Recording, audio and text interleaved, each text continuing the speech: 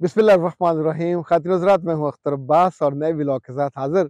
Mrs Humera ने एक तबसरा किया है। वो कहती हैं कि आपकी वीडियोस पर मोहब्बत भरी दुआ और आपने हमारी ज़िंदगी बहुत आसान की हैं। कितने ही ऐसे मौके आए हैं घर में, ख़ानदान में, इवन अपने माँ बाप के घर जाके, जब मैं अपनी ज़ुबान पे काबू पाने के बाद रिश्तों को मैनेज करती हूँ और शिकायतों से अपनी ज़ुबान को आलूदा नहीं करती। उसका फ़ायदा ये हुआ कि जब वापस मैं अपने घर आती हूँ मियाँ के पास तो मेरे माँ बाप के दिल में उसके बारे में कोई बुग्ज नहीं होता। कोई ज़ाहिर जो बेटी ने बताया होता है, उसकी तरह ही आप अपनी राय कायम करते हैं और आपकी आँखों में गुस्सा या मोहब्बत उतना ही क्रिएट होता है जितनी आपने बातें सुनी होती। बेटा जी, बहुत शुक्रिया। आप समझदार हो। इनफैक्ट जो जहानत है जो दानाई है ये तो बिखरे बीजों की तरह है जो जगह जगह मेरे रब ने खुद ही पहुँचाए होते। हैं और हम अगर आके अपनी अकल की चूंचों से उनको चुन लेते हैं तो हमारे ज़िंदगी में ज़िंदगी की क्वालिटी में वो काम आती है और ज़िंदगी की क्वालिटी बेहतर हो जाती।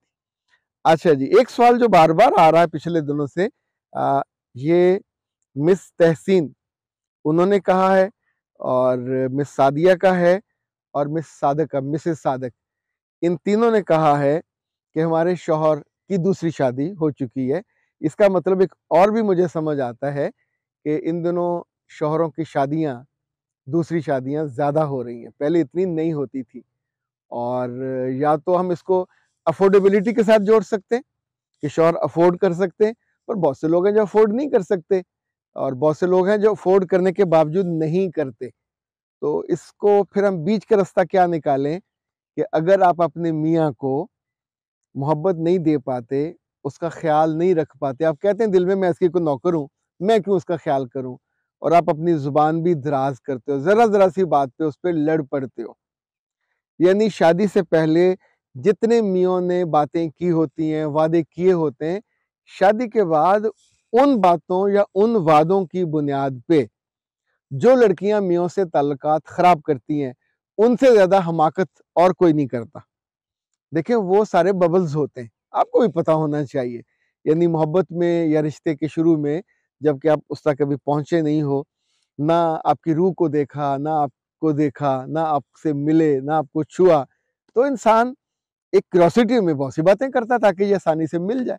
तो जब मिल जाते हैं तो फिर वो वाला जो महँगी कीमत है, वो तो इंसान देने पे तैयार नहीं होता। फिर एक वर्किंग रिलेशनशिप आता है और अगर ये आपको समझ आ जाए कि वर्किंग जो वर्किंग रिलेशनशिप है, इसको लंबा, आसूदा और कंफर्टेबल रखना है तो आपका मामला चलता रहता है।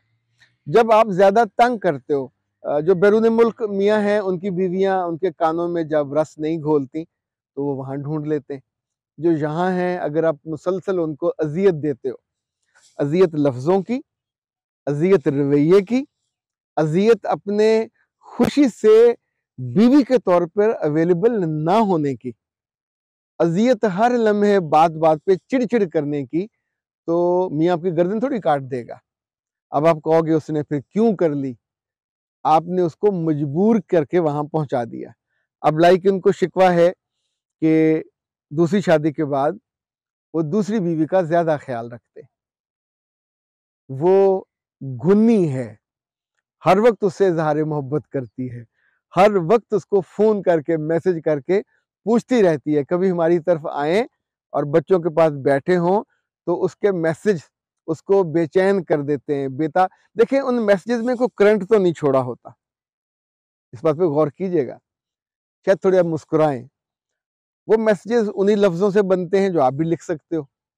पर उसको, उस मैसेज में मोहब्बत की शरीनी घोल के डालनी आती है उस लड़की को, जिससे शादी हुई है। तो जहाँ दरो दीवार हमारे अपने हों, जहाँ दिल हमारा अपना हो, जहाँ जिसम हमारा अपना हो, जहाँ हमारा इंतज़ार ज़्यादा हो, हम वहाँ जाते हैं। दोस्तों में बहुत से दोस्त हमारे बड़ी बड़ी अच्छी पोजीशंस पे होते हैं, पर हम उस दोस्त के पास जाना प्रेफर करते हैं जो हमारे जाने पे खुशी का बेपाया इजहार करे, उठ के खड़ा हो जाए, हमारे लिए भाग दौड़ करे, चाहे घर में कुछ ना हो, पर जो भी लाए, वो इतनी मोहब्बत से खिलाए, लुकमा लुकमा करके तो हमको वो इंसान अच्छा लगता है। वी फील गुड कि ये मुझसे मोहब्बत करता है, मेरी केयर करता है, मेरा आदर करता है, मुझे प्रोटोकॉल देता है। तो ज़िंदगी में अगर एक औरत जो दूसरी बीवी बन गई है, वो प्रोटोकॉल दे रही है, अभी तो उसका बच्चा भी नहीं है, और आपका मियाँ भाग भाग के वहाँ जाता है तो मेरे बच्चे आप उस औरत को बुरा भला कहने या अपने मियाँ से गिला करने की बजाय अपने आप को क्यों नहीं सोचते? अपने आप को रीडिजाइन क्यों नहीं करते? रीथिंक क्यों नहीं करते? फ़ायदा किसका होगा? इसमें आपका ना तो कुछ झुकना बनता है, ना आपका कोई दर्जा कमतर हो जाएगा। अगर आप अपने मियाँ के दिल में बेहतर जगह ले लेते हो, उसके आने पे आप गंदे मंदे जिस्म और गंदे मंदे रवैये के साथ अब सोचते हो शादी तो अब इसने कर ली है और क्या कर लेगा? वैसे और भी काफ़ी गुंजाइश होती है। लेकिन अगर आपने टोटल डिज़ास्टर पे जाना है तो वो ज़्यादा हमाकत होती है। तो जितना डिज़ास्टर हुआ हो, अभी आप उसके निकाह में हो, आपके बच्चे उसकी वल्दियत में हैं तो बेहतर है अपने तर्ज अमल को बेहतर करें, बदल लें बल्कि ये ज़्यादा बेहतर है। और शोहर का और जो दूसरी खातून है, दूसरी बीवी, उसका ना तो मज़ाक उड़ाइए ना उस पर तंज के तीर बरसाइए और ना ही उसके बारे में कोई वलगर किस्म के और नापसंदीदा जुमले कहिए क्योंकि औरतों को मर्ज होता है। आप जितना दिल दुखाओगे, जितने सख्त जुमले कहोगे, ये सारे जहरीले ये वो तीर हैं जो आप ही के पलट के आने। तो अगर दिल जीतना हो, किसी की तरफ़ जो नाराज़ होकर हमसे दूर हो गया हो, उसके पास वापस जाना हो तो क्या करेंगे? खड़े होकर या तो बांगे देंगे रोएँगे, कुरलाएँगे या फिर उसकी तरफ़ कदम बढ़ाएँगे और उसको अपना बना लेंगे। अब वो आपका अपना पूरा नहीं बनेगा, ये एक पत्ता था, आधा हो गया। तो आधा उसका, आधा आपका। जितना आपके लिए अवेलेबल है, बस उस पर कनात करनी होगी। अब पिछले बीते दिनों को याद करके या तो आप रो सकते हो, या फिर इसको बिल्कुल हाथ से धो सकते हो। और ना रोने का फ़ायदा होगा, ना इसको खोने का फ़ायदा होगा। तो तीनों खातन और वो सारी खातन जिनके मियों ने अभी हाल ही में जैसे पहले दूसरी शादियाँ की हैं, उन्होंने कोई गलत काम नहीं किया, कोई गुनाह नहीं किया। अब मुझे बदवाई ना दीजिएगा, मैं आपको बचाने का रास्ता आपको बता रहा हूँ। लड़ते रहोगे तो इस रिश्ते से भी हाथ धो बैठोगे, क्योंकि हमारे यहाँ कॉमन ये है कि जो तंग ज़्यादा करती है, उसको फिर लोग छोड़ देते कोई मुस्तकिल अजियत या बेजती कराने के लिए आपके घर नहीं आएगा। आपके पास भी नहीं बैठेगा। आपको छुएगा भी नहीं। आ, उसकी जो इमोशनल ज़रूरतें हैं फीलिंग की वो सबसे इम्पोर्टेंट है वो वहाँ से पूरी हो रही हैं। फ़िज़िकल ज़रूरतें भी पूरी हो रही हैं। जो स्पिरिचुअल ज़रूरतें हैं वो वहाँ पूरी होती हैं जहाँ हम खुश होते हैं।